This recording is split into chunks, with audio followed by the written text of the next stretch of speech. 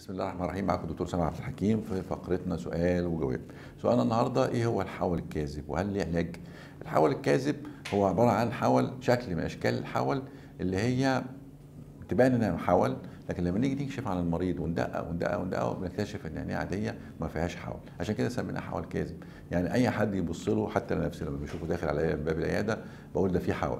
لكن في واقع الأمر لا ما فيش حول خالص. ده بنكتشفه بالكشف. لما نبتدي نكشف إحنا ونعمل اختبارات الحول عشان نميز الحول الكاذب لا لا ما فيش حول.